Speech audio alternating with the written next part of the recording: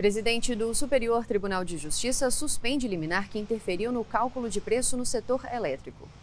A ministra presidente do STJ, Maria Tereza de Assis Moura, suspendeu liminar que ia de encontro à disposição da Agência Nacional de Energia Elétrica, a ANEL, e que havia determinado que o valor mínimo do preço de liquidação de diferenças não tenha vinculação com a tarifa de energia de otimização de Itaipu. A liminar havia sido concedida pelo Tribunal Regional Federal da Primeira Região, que, em favor da empresa Enercore, concedeu liminar para interromper disposições de duas resoluções da ANEL.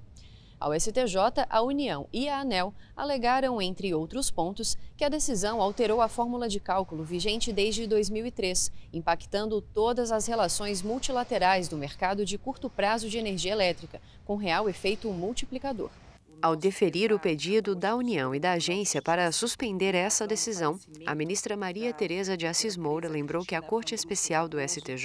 já entendeu ser recomendável que eventual afastamento dos atos de agências reguladoras se dê por motivo de ilegalidade, sob pena de ofensa à separação de poderes, já que o setor elétrico tem regras de elevada especificidade técnica e de enorme impacto financeiro, já previamente definidas em atos da agência reguladora reguladora, de modo que a interferência pelo Judiciário por meio de liminar configura grave lesão à ordem e à economia públicas. A suspensão vale até o trânsito em julgado da ação.